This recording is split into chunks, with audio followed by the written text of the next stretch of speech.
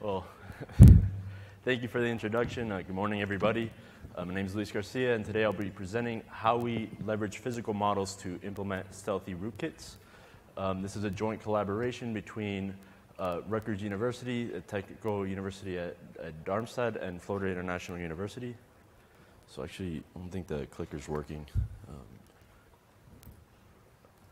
uh, I don't, I don't know if the clicker's working or not.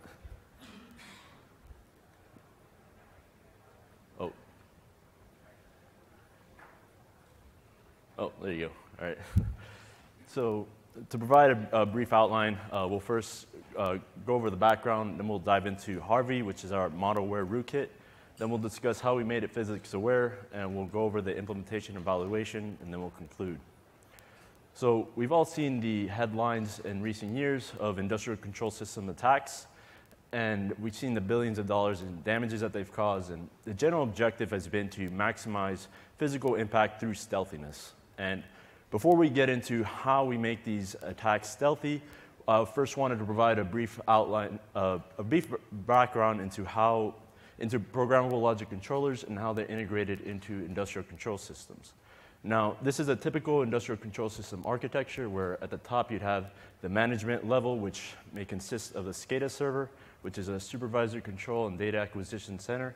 And this is typically used for monitoring the overall system state. And it interfaces with the control level devices, which are consist of all the network devices of the system that are interfacing with both the management level and the field level devices. And in particular, this paper focuses on programmable logic controllers, and the field level devices uh, typically consist of all the sensors and actuators of the system. And now that we provided a high level overview of how PLCs are integrated into industrial control systems, uh, we can present Harvey, which is our model aware rootkit. And Harvey takes into account the physical topology of the industrial control system. And it uses the physical models to optimize uh, control commands for an adversarial objective function and in order to implement Harvey, we assume that we can compromise the PLC's firmware. And there are many ways of doing this. Uh, you can utilize a firmware update mechanism, and you could also use uh, local firmware modification attacks, such as uh, SD or JTAG implantation. And you could also use runtime attacks, such as network exploits or remote code execution vulnerabilities. Now, going back to our industrial control system, you would typically have a field device, such as an actuator and sensor, and you'd have your HMI, your human-machine interface, and the PLC would be sitting in between both of them. And the PLC would have a physical I.O. channel that's communicating with the actuator and sen or sensor, and you'd have a network communication with the HMI. And the HMI is sending programmatic and operational commands uh, to the PLC. Now, let's see how Stuxnet works. Stuxnet, uh, very, uh, you know, briefly, it uh, compromises the PLC control logic uh, by compromising the HMI and the HMI would essentially send malicious PLC code uh, to the, upload it to the PLC, and then it would also modify the HMI such that it would prevent detection of these PLC modifications. And in order to do so, it would record a series of benign measurements and replay them back to the HMI. Now, how does this compare to our, our, our Harvey? Um, Harvey actually doesn't require uh, compromising of the HMI as it resides in the firmware of the PLC. And we can also calculate, uh, instead of doing record and replay text, uh, attacks, uh, we can calculate fake, generate fake data using the actual physical model of the system. Uh, and it provides a more flexible attack for more dynamic systems. And you know, Stuxnet has been around for a few years, and as such, um, several security solutions have been proposed to mitigate attacks such as Stuxnet. Um, so let's see how Harvey will fare we're going to discuss how they'll fare uh, against these solutions.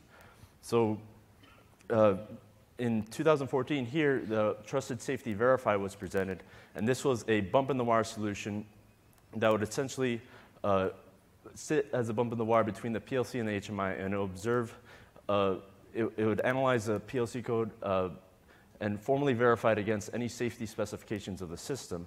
And Although this would verify any code that was being loaded onto the PLC, it was typically an offline analysis, uh, and it even and it also analyzed code that was being loaded onto the application layer of the PLC. And Harvey resides in the firmware, so it would easily circumvent this solution. And The second solution we consider is the WeaselBoard, which is a chassis-based intrusion detection solution. And this would work by sitting on the chassis of the PLC and would monitor all the communication between all the modules of the PLC. Uh, but again, this was an external solution as it sat external to the I.O. module of the PLC. And even if it could uh, detect an attack like Harvey, it would be a passive analysis. Um, so diving deeper into the PLC, um, PLCs typically work by scanning the inputs and propagating the input values through some uh, programmable logic and then uh, updating the associated outputs. So this is what we call a scan cycle. And a scan cycle works by essentially taking the sensor measurements and propagating through the input of the hardware uh, through the input module of the firmware. And then these values are then sent up to the control logic or the application layer. And these input values are then sent through a, a programmable logic circuit. And then the associated uh, output ports are updated. In parallel, you have a, uh, what we call a cyber world, where, which includes all of the network industrial control system components, including a human machine interface uh, where that would be manned by an operator. And they would be uh, monitoring the overall system state.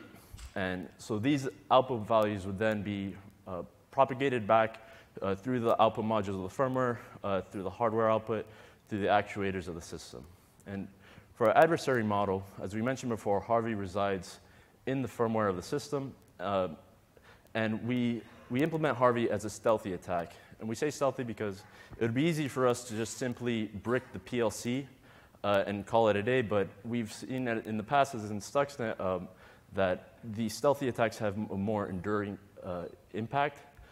And we also assume that we only need to compromise the PLC uh, we don't necessarily need to compromise the HMI for this case. And finally, we assume that we can extract the physical model of the system. And although this is a strong assumption, it's, it's been shown in the past that using insider information, you can extract the physical model and also or by compromising auxiliary systems such as those that uh, monitor the system state. Now that we've gone over the architecture of the PLC, we can discuss how we made uh, Harvey physics aware. And I'm going to consolidate a few, a few of the components just for abstraction purposes. We're going to merge the control logic with the cyber world and the hardware with the physical world and isolate the firmware. And so now we have the operator uh, interfacing with the legitimate control logic, and that's sending legitimate control through the firmware to the physical system, and the sensors are sending the actual measurements through the firmware to the legitimate control logic.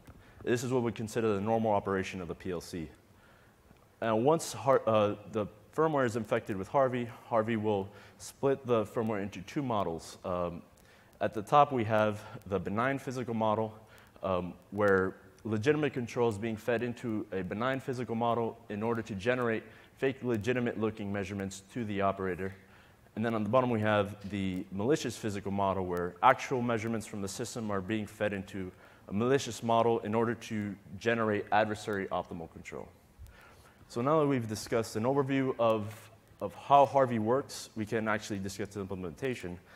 And we use uh, CompactLogix L1 PLC, and I'm just going to provide an overview of some of the components that will be necessary for understanding future attacks. Um, this is the, the blue LED strip corresponds to the 16-bit digital input uh, module at the bottom of the PLC. And the green LED strip represents the 16-bit digital output at the bottom. So if you have a high value on the output port of, of, uh, of on output port zero, uh, the green, uh, the LED zero for the green uh, LED strip will be high. So in order to implement our attack, we needed to intercept the I.O. communication of the PLC. So we decided to open up the PLC, and we wanted to see if we can establish a JTAG communication. And uh, so we took a look at the microcontroller of the system, and it conveniently had a data sheet online, and it allowed us to, uh, to identify the JTAG pins of the microcontroller, as well, and using a multimeter, we were able to see, uh, to identify the pins uh, on the board for JTAG communication. And once we established this JTAG communication, we were able to dump the memory uh, for code disassembly in IDA Pro, and we also used the data sheet uh, to find the memory layout and the built-in ROM functions. And long story short, we were able to find the interrupt service routines associated with uh, updating the GPIO output and input ports. And this is actually um, the modified version of the GPIO output update in, uh, ISR. So we, we essentially modified it by in, injecting a, a, simple branch instruction that would uh, branch to an arbitrarily uh, maliciously injected code. And this is how we would uh, inject our uh, malicious and benign physical models. And we had a similar implementation for the GPIO uh, input update ISR. And so now that we've, uh, we've shown how we do this, we actually implemented a simple proof of uh, concept attack where we, Harvey would uh, spoof the inputs. Um, so here we have a simple control logic circuit uh, where input ports 0 and 1 are being fed into an AND gate and output port with an output at output port 1. So as you can see, the, the, LED, um, the LEDs show that input ports 0 and 1 are high, so that means output port 1 is high. But if you take a look, and that's exactly what the LEDs in HMI would see, the logic. But if you take a look at the actual inputs, there's no inputs being put into the device. So we made the PLC believe that we actually are putting two high voltages at input ports 0 and 1, but there's actually nothing being placed the, on the device. So this would be an example of how we can manipulate the sensor data. And similarly, we, we did a similar attack for uh, spoofing the outputs, where you can see that here uh, the output LED 0 is high, and while the GPIO output port is low when um, using the uh, volt, uh, multimeter. And, and uh, we, here, uh, output port LED is uh, 1 is low, and the GPIO uh, reading was high. So this would be an example of um, malicious actuation. And so this was a simple attack. now we wanted to do a more advanced attack where we wanted to make a malicious PID controller and PID controllers are typically used in control systems for, um, for, for controlling the actuation of the system where you'd have, where you'd compare the output of the system to the set point and, and use the, and propagate the error through uh, proportional integral and derivative components uh, that are summed together to control the actuation of the system. And, and this is widely used in uh, different domains. Here is just simply used uh, by drones to control the motors. Uh, that's just one simple example that we can tell, but it, and it's even uh, it's actually integrated directly into the development environments of PLCs. This is a, a, PID instruction for PLCs, but we didn't actually have the source code for these instructions, so we had to uh, create our own and compile it. And this was a not optimized or stripped in any way. So the next step was to see how feasible it was, would be to inject such a code uh, in terms of size constraints. And uh, after doing uh, some analysis, we found, well, you can see that the actual PID instructions from the development environment is much smaller than our PID attack code. And regardless, we had plenty of space to uh, actually inject this code after uh, analyzing the available memory. And so we utilize this PID uh, uh, attack code in our oh, uh, sorry, one, one too far, for a real world attack demo where we, uh, we attacked a, a, power grid testbed at Florida International University. And on the left, you can see uh, the, the operator view of the system. And he, although there's some perturbations, you can see that it was generally viewed as uh, a stable operation, where on the right we had the actual measurements of the system, where we drove some of the uh, control variables to unsafe limits and it caused uh, instability throughout the system and, and caused several safety, uh, safety violations. Um, and I, we don't have the, the physical equations here, but if you would like to discuss the attack in detail, we could either discuss it offline or you could refer to the paper. And for possible mitigations, we, um, we discussed remote attestation to verify the software integrity of the system. And we also discussed secure boot, uh, where you can verify the device by itself. And we also discussed uh, external bump in the wire solu uh, solution where you'd monitor the sensor to PLC and PLC to actuator data streams. So in conclusion, we presented Harvey, which is a, a physics-aware man-in-the-middle attack against industrial control systems. And Harvey damages the underlying physical system while providing the operators with an exact view of what they expect to see. And we evaluated our solution on an Allen Bradley PLC, and we also performed res responsible disclosure. Um, and I'd be glad to take any questions.